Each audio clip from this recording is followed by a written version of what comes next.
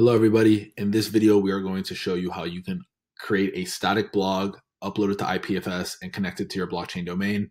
This is a follow-up video to the first video we put out last week that shows you how to launch an unstoppable website on IPFS in under three minutes. So let's go right into this. I'm using templated.co for my website template. Thank you, Tara Belus from our Telegram community for sharing this link this is how I actually found out about this website. But there's tons of them. If you don't want to use templated.co, you can just Google free website templates, uh, static blog templates, and there's lots of websites that offer free templates online. I'm using a template called Spatial. So all I'm going to do is download it, which I already did. And then right here, you'll see my folder. And inside this folder, I have all of the components needed for my blog that I'm going to create. So the first thing we're going to review is how to edit the content in your blog. So this is what the regular template looks like. And what I'm going to do is open up a code editor here. I already opened up the folder. I'm going to open up the index.html and I'm going to start changing the content on this. So I like to put it right here side by side so I can follow along with what's happening. So here it says spatial by templated. I'm going to go in here. I'm going to change it to my blog. And I'll change this to blockchain domains. And then I'm going to go down and for this, I'll actually use content from our community forum but let's change this to blockchain domains. Let's change this to replace crypto addresses.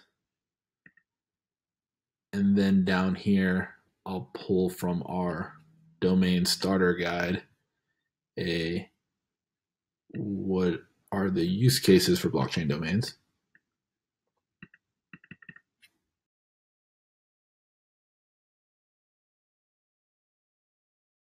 So now that I've replaced the text and there's still regular template, I just want to show you how this actually works. What I'm basically doing here is I'm editing the website. I'm changing the content on the website and what it says. Once I'm ready to upload that content, I'm simply going to save this, minimize it here. I'm going to go over to Pinata, which we discussed in the first video. I'm going to go to Pinata upload. I'm going to go to upload directory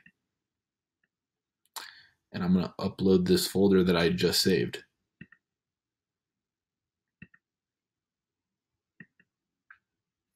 Upload.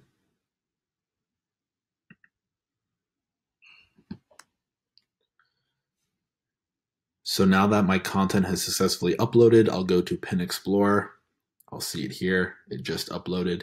And you'll see this is what the template looked like when we downloaded it. And now that we've changed the content, it looks like this my blog, blockchain domains, what are the use cases of blockchain domains, and here's the text. So I was able to directly change the text on this website using my HTML uh, index, and now I have the opportunity to do it throughout the entire static blog. So let's say all of this was ready to go and it had all of my content that I wanted to share. What I can now do is go back to Pinata, I can copy my IPFS hash. And now I'm going to go to Unstoppable Domains and upload it. Now that I'm on unstoppabledomains.com, time to connect my IPFS hash to my domain. So I'm going to go to my domains. In this example, I'm going to use test domain 12345. I'm going to select manage. I'm going to scroll down and I'm going to paste my hash here. Once I've done that, I go over here and I select save changes. And now I just wait for the transaction to process. And now that my transaction has processed, time to view my website on ViewBlock. So I'm going to copy my domain, go over to viewblock.io, paste it here. Here's my domain page. Click on the linked IPFS and there it is. Here's the website that we uploaded with our changes that we made. You can see the difference compared to the regular template here. So that's it with this video. As always, if you have any questions, jump into our Telegram and we're there to answer them.